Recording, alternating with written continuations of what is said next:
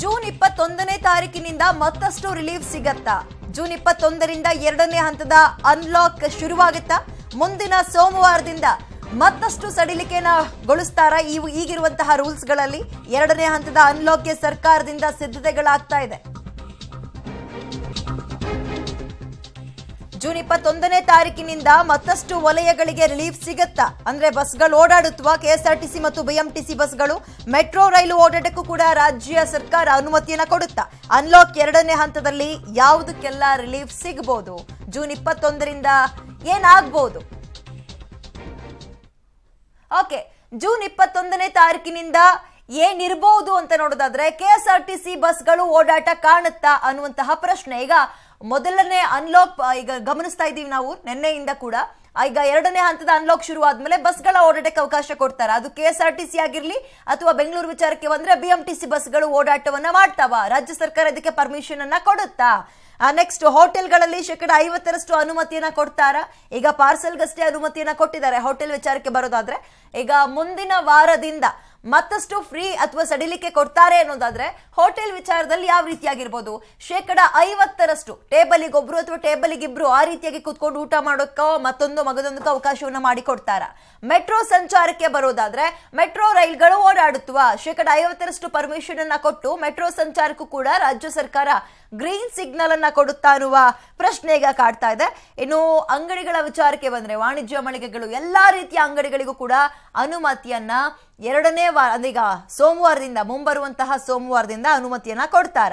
ವಾಣಿಜ್ಯ ಚಟುವಟಿಕೆಗಳಿಗೆ ಈಗಿರುವ ಅವಧಿಯನ್ನ ವಿಸ್ತರಣೆ ಮಾಡ್ತಾರ? ಬೆಳಗ್ಗೆ ಆರರಿಂದ ಎರಡು ಗಂಟೆ ಇದೆ ಈಗ.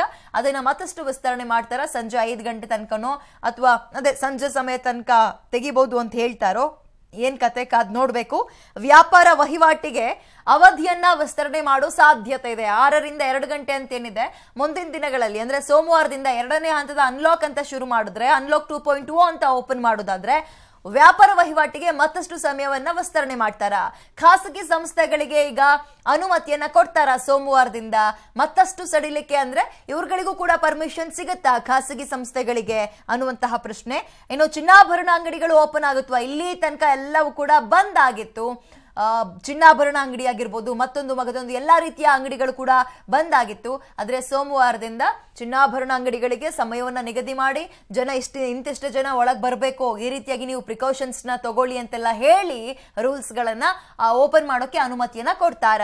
ಇನ್ನು ಚಿನ್ನಾಭರಣ ಅಂಗಡಿ ಅಂದ ತಕ್ಷಣ ಬಟ್ಟೆ ಅಂಗಡಿಗಳು ಅವು ಕೂಡ ಬರುತ್ತವೆ ಬಟ್ಟೆ ಅಂಗಡಿಗಳಿಗೆ ಏನು ಮಾಡ್ತಾರೆ? ಈಗ ಯಾವುದಕ್ಕೂ ಕೂಡ ಪರ್ಮಿಷನ್ ಇಲ್ಲ. ಚಿನ್ನ ಅಂಗಡಿ ಆಗಿರ್ಬೋದು, ಬಟ್ಟೆ ಅಂಗಡಿಗಳಾಗಿರ್ಬೋದು ಮೊಬೈಲ್ ಆಗಿರ್ಬೋದು, ಈ ರೀತಿಯಾಗಿ ಯಾವುದಕ್ಕೂ ಕೂಡ ಅವಕಾಶ ಇಲ್ಲ.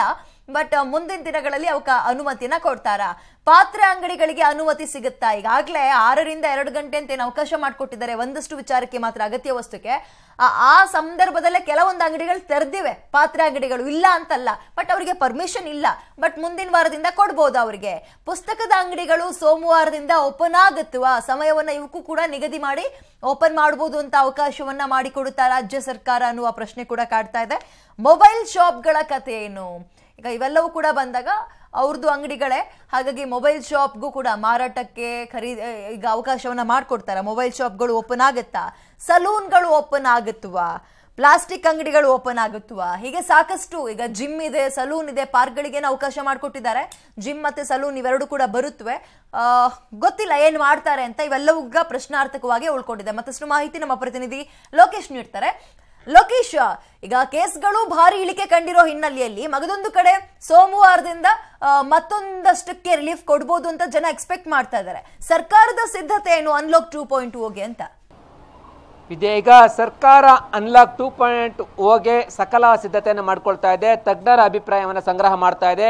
ಜೊತೆಗೆ ಅಧಿಕಾರಿಗಳು ಜಿಲ್ಲಾಡಳಿತ ಮಟ್ಟದಲ್ಲಿರ್ತಕ್ಕಂಥ ಅಧಿಕಾರಿಗಳು ಮತ್ತು ನಗರ ಪ್ರದೇಶದಲ್ಲಿರ್ತಕ್ಕಂಥ ಅಧಿಕಾರಿಗಳು, ಇವರೆಲ್ಲರ ಅಭಿಪ್ರಾಯವನ್ನು ಸಂಗ್ರಹ ಮಾಡ್ತಾ ಇರ್ತಕ್ಕಂಥದ್ದು. ಸೋಮವಾರದ, ಸೋಮವಾರದವರೆಗೂ ಕೂಡ ಇನ್ನೂ ಮೂರ್ನಾಲ್ಕು ದಿನಗಳ ಕಾಲ ಆ ಟೈಮ್ ಇದೆ. ಈ ಸಮಯದಲ್ಲಿ ಪಾಸಿಟಿವಿಟಿ ರೇಟು ಅಲ್ಲಿಗೆ ಎಷ್ಟಕ್ಕೆ ತಲುಪುತ್ತೆ ಅಂತಲೂ ಕೂಡ ಅದನ್ನು ಪರಿಗಣನೆಗೆ ತೆಗೆದುಕೊಳ್ತಾರೆ. ಅದನ್ನು ತೆಗೆದುಕೊಂಡ್ರೂ ಕೂಡ ರಾಜ್ಯದಲ್ಲಿ ಈಗ ಐದು ಪರ್ಸೆಂಟ್ ಒಳಗಡೆ ಪಾಸಿಟಿವಿಟಿ ರೇಟ್ ಇರೋದ್ರಿಂದ ಈ ಎಲ್ಲ ಒಂದು ಕೆಲವೊಂದಿಷ್ಟು ಚಟುವಟಿಕೆಗಳಿಗೆ ಸಮಯ ವಿಸ್ತರಣೆ ಮಾಡುವ ಅವಕಾಶ ಇದೆ ಎನ್ನುವಂಥದ್ದು ಈಗ ಗೊತ್ತಾಗ್ತಾ ಹೋಗ್ತಾ ಇದೆ. ಅದರಲ್ಲೂ ಕೂಡ ಪ್ರಮುಖವಾಗಿ ಪುಸ್ತಕ ಅಂಗಡಿಗಳ ಮತ್ತೆ ಸಲೂನ್ ಶಾಪ್ಗಳಿಗೆ ಅವಕಾಶವನ್ನ ಮಾಡಿಕೊಡ್ತಾರೆ. ಜೊತೆಗೆ ಉಳಿದಂತೆ ಹೋಟೆಲ್ನಲ್ಲಿ ಪಾರ್ಸಲ್ಗೆ ಅವಕಾಶ ಇಲ್ಲದೇ ಫಿಫ್ಟಿ ಪರ್ಸೆಂಟ್ಗೆ ಅವಕಾಶ, ಆ ಕುಳಿತು ಊಟ ಮಾಡೋದಕ್ಕೆ ಅವಕಾಶವನ್ನ ಮಾಡಿಕೊಡ್ತಾರೆ ಅನ್ನುವಂಥ ಮಾಹಿತಿ ಸಿಗ್ತಾ ಹೋಗ್ತಾ ಇದೆ. ಉಳಿದಂತೆ ದಿನಸಿ ಅಂಗಡಿ ಮತ್ತು ಇವುಗಳಿಗೆ ಏನು ಆರರಿಂದ ಎರಡು ಗಂಟೆವರೆಗೂ ಸಮಯವನ್ನು ನಿಗದಿ ಮಾಡಿದ್ದಾರೆ. ಆ ಸಮಯವನ್ನು ಬೆಳಿಗ್ಗೆ ಆರರಿಂದ ಸಂಜೆ ಐದು ಅಥವಾ ಆರು ಗಂಟೆವರೆಗೂ ಅವಕಾಶ ಕೊಡುವ ಸಾಧ್ಯತೆ ಇದೆ. ಹಿಂದಿನಂತೆ ನೈಟ್ ಕರ್ಫ್ಯೂ ಜಾರಿ ಆಗಿರೋದ್ರಿಂದ ಐದು ಗಂಟೆವರೆಗೂ ಅವಕಾಶ ಕೊಟ್ಟು ಐದು ಗಂಟೆಗೆ ಕಂಪ್ಲೀಟಾಗಿ ಕ್ಲೋಸ್ ಮಾಡಿ ಮನೆ ಸೇರಿಕೊಳ್ಬೇಕು ಎನ್ನುವಂಥ ಪ್ಲಾನ್ ಕೂಡ ಮಾಡ್ತಾ ಹೋಗ್ತಾ ಇದ್ದಾರೆ. ಸಮಯ ವಿಸ್ತರಣೆ ಮಾಡಿದ್ರು ಕೂಡ ನೈಟ್ ಕರ್ಫ್ಯೂನ ತೆರವು ಮಾಡಲ್ಲ ಎನ್ನುವಂಥ ಮಾಹಿತಿ ಕೂಡ ಸಿಗ್ತಾ ಹೋಗ್ತಾ ಇದೆ. ಹಾಗಾಗಿ ನೈಟ್ ಕರ್ಫ್ಯೂ ಆರಂಭ ಆಗೋದ್ರ ಒಳಗಡೆನೆ ಆ ಕಂಪ್ಲೀಟ್ ಆಗಿ ಎಲ್ಲ ಚಟುವಟಿಕೆಗಳು ಬಂದಾಗಿ ಜನ ಎಲ್ಲ ಕೂಡ ಮನೆಯಲ್ಲೇ ಸೇರ್ಕೋಬೇಕು. ಈ ರೀತಿಯಾಗಿ ಪ್ಲಾನ್ ಮಾಡ್ಕೊಳ್ತಾ ಇರ್ತಕ್ಕಂಥದ್ದು ಈಗ ಸಿಗ್ತಾ ಹೋಗ್ತಾ ಇದೆ ವಿದ್ಯಾ.